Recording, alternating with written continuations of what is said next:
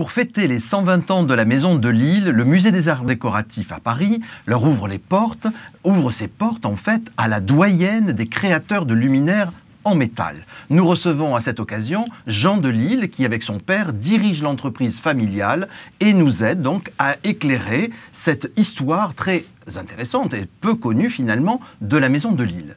Alors, les arts décoratifs vous ouvrent leurs portes, qu'est-ce que vous allez montrer? Et est-ce qu'on peut raconter en bref l'histoire de la maison. Oui, alors nous sommes donc bronziers et ferronniers d'art depuis 1895 et nous avons décidé cette année euh, une forme de passation entre mon père et moi euh, et d'un point, avant, disons une pause entre le passé et, l'avenir et voir un peu toutes les créations que nous avons réalisées. C'est pour ça que le thème de cette célébration, c'est 120 ans de création.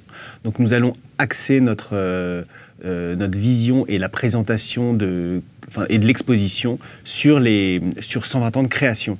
Alors comment est-ce que la maison commence? Qui est à l'origine? Alors à l'origine, c'est mon arrière-arrière-grand-père Henri Delille, qui est un dessinateur. Euh, il a gagné des grands prix aux expositions universelles de dessin. Et euh, il a commencé à dessiner euh, pour des clients privés au travers d'ensembliers. L'architecte d'intérieur, à proprement parler, n'existait pas, c'était plus des ensembliers. Et un, des, un de ses prestigieux clients, le grand-duc Paul de Russie, qui était l'oncle du tsar, mais ils avaient le même âge, euh, a habité à Paris et ils ont commencé à travailler ensemble.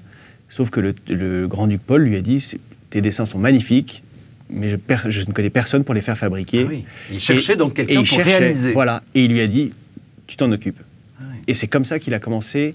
On, travaillait beaucoup dans le bronze euh, euh, de meubles. Donc on travaillait avec beaucoup d'ébénistes. C'est pour ça qu'on a de nombreux dessins de, mobilier. Et euh, avec les années, on s'est vraiment spécialisé dans les luminaires. D'accord. Mais alors, est-ce que vous avez encore les archives de cette époque reculée? Voilà, exactement. On a plus de 10 000 dessins d'archives, des croquis, des aquarelles, les carnets de commandes depuis juin 1901. Euh, c'est assez, assez, assez dément. Euh, et à partir de ça, pour cet événement, nous allons d'abord exposer des, aquarelles que nous, que nous gardons en général assez secrets, qu'on présente surtout à nos clients, aux architectes d'intérieur avec qui on travaille aujourd'hui et des clients privés.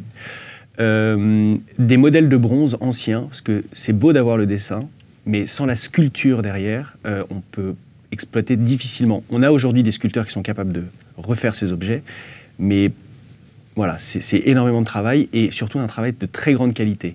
Alors vous dites que vous montrez aux décorateurs, qui sont à mon avis l'intermédiaire avec les commanditaires d'aujourd'hui, ce qui n'existait pas à l'époque, mais vous leur montrez les dessins anciens. Est-ce à dire que vous retravaillez des choses anciennes? À partir de dessins d'archi. Donc aujourd'hui, notre activité à 80%, c'est de la création sur mesure. Mhm on ne fait qu'à la commande, mais 80% est du sur-mesure. Sur-mesure à partir des dessins des architectes d'intérieur, mais aussi de notre patrimoine. C'est-à-dire qu'on crée pour nos clients, à partir des dessins d'archives, d'un esprit, on va redessiner un lustre dans leur dimension, en fonction de leurs contraintes et de leurs choix. Donc vraiment, on, vient de réaliser d'ailleurs un lustre qu'on avait, qu'on avait fabriqué pour, le, pour Tsarsko et Selo, le palais du Tsar, mhm. dans les années 1910. On vient de le réaliser pour un client euh, asiatique, dans des dimensions euh, hors normes.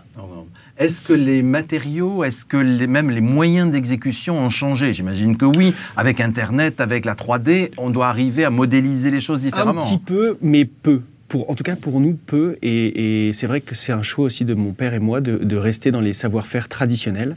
Euh, faisant du sur-mesure et de la très haute qualité, on privilégie la main.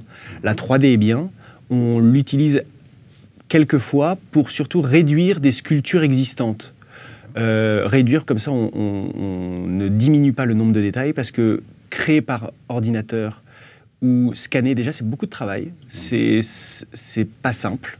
Donc finalement, c'est plus rapide euh, et plus qualitatif de sculpter directement en bois ou en plâtre. Et ensuite, euh, pour les agrandissements euh, et pour les créations, on le fait peu parce qu'on perd du détail. Donc nous, vraiment, on, utilise, on peut utiliser la 3D, mais pour de la réduction uniquement et de la reproduction. Mais c'est comme le dessin à l'ordinateur.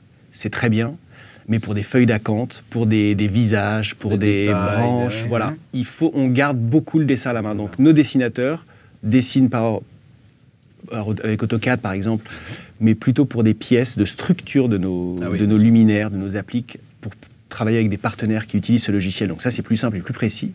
Mais pour les, les parties de sculpture et esthétique, C'est encore fait à la main, à l'ancienne, on va dire. Ouais. toujours. Vous êtes une équipe de combien de personnes? On est une entreprise, on est 20 personnes, dont 15 à notre, dans notre atelier.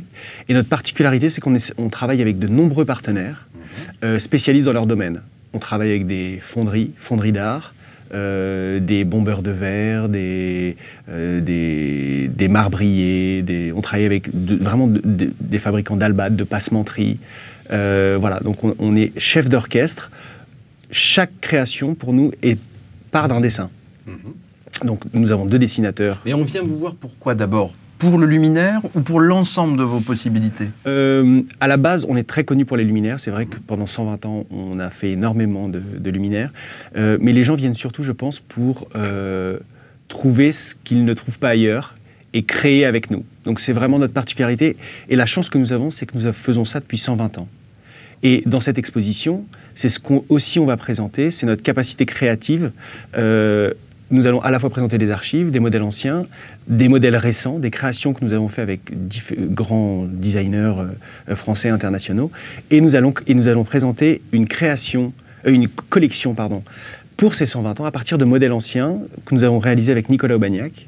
euh, qui est un designer que nous aimons beaucoup parce qu'il a ce raffinement et, et- et- et- et il comprend euh, notre, notre créa- nos créations contemporaines avec beaucoup de détails, euh, du, du bronze en particulier. Euh, voilà, à partir d'éléments anciens, nous avons créé des, des, des- des éléments modernes. Donc c'est une Des collection complète modernes. qui sera Exactement. dévoilée à cette occasion. Voilà, voilà, voilà. voilà. Et est-ce que des grandes marques n'ont pas envie de venir vous voir désormais pour apposer ou pour s'associer avec vous finalement? Ah bah si, si, si. D'ailleurs, l'année prochaine, on, va, on, on est en train de, euh, de travailler sur une collection euh, avec une grande maison du cristal.